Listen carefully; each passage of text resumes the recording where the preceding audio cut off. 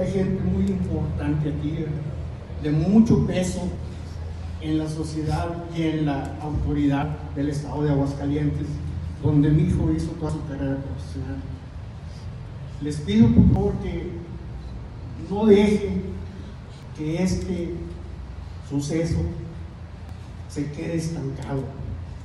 Los medios no los he visto, no quiero contaminarme, le he pedido a mi familia que no lo haga, pero nos hemos enterado por terceras personas. Sí.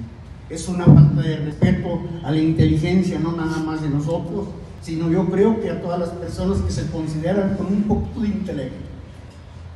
Sí. No es cierto lo que ellos están manejando.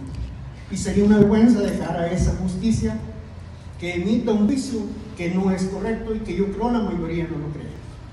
Ojalá y esto sí pueda tener eco y algún día estos, estas luchas, estos movimientos no se ganan de la noche a la mañana. Ojalá un día mi hijo de donde esté vea que los resultados de su lucha no fueron normales.